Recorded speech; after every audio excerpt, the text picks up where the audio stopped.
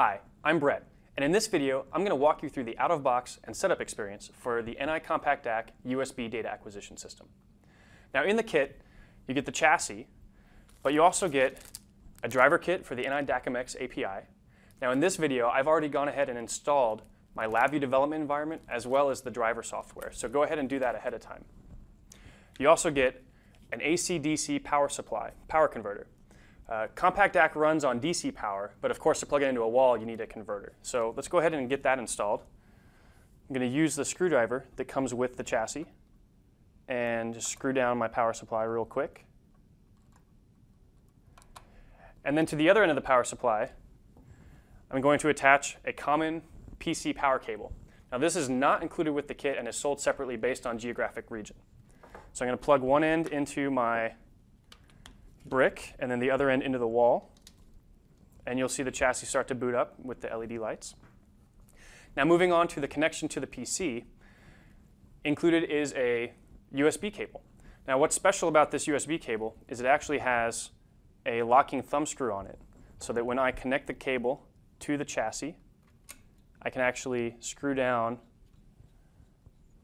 the cable and so now it's, it's resistant to tugs or any kind of shock and vibration that the chassis might uh, be under. And finally, we're going to connect the other end into my computer, which again already has the driver installed. Now, if you look at the software that I have open, it's Measurement and Automation Explorer, also known as MAX, and this is the configuration utility for all NI DAQmx products. You can see that the CompactDAQ chassis I just plugged in has been automatically detected by the driver and is ready to uh, have a module inserted. Now modules are sold separately. And in this case, in the studio here, I have a thermocouple module. So I'm going to go ahead and plug this in to any slot. And notice that the chassis is still powered on because all of the modules are hot swappable, meaning I can add them or remove them at any time. Now the module has already been detected. I'm going to right click on the module, go to test panels. This is going to open up a test panel that will allow me to see the raw voltage of any sensor or connection that I have to the module and the system. In this case, it's a thermocouple, so I expect the output to be on the millivolt range. I'm going to go ahead and click Start and just run a quick test panel. And you can see, indeed, that I have a very small voltage that is coming from the thermocouple. So go ahead and stop that. The system is completely configured and is now ready to program. So for this video, I'm going to really quick open up a LabVIEW VI, and I'm going to go ahead and pull this thermocouple data through my CompactDAQ system into the LabVIEW development environment.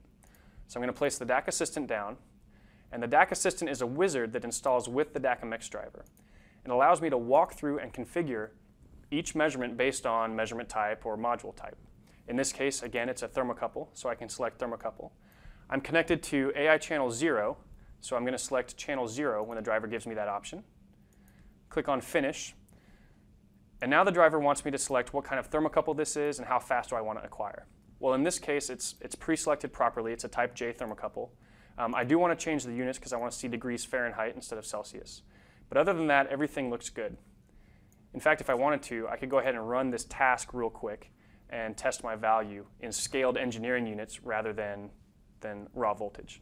Um, 70 degrees Fahrenheit sounds about right for this room, so I'm going to go ahead and click on Stop and OK.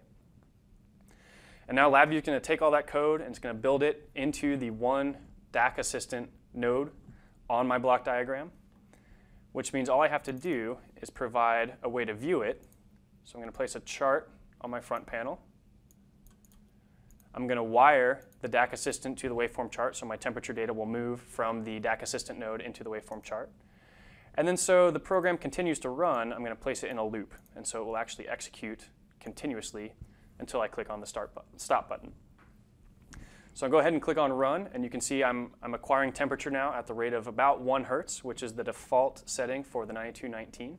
And you can see if I take my hand and grasp the thermocouple that the temperature should increase.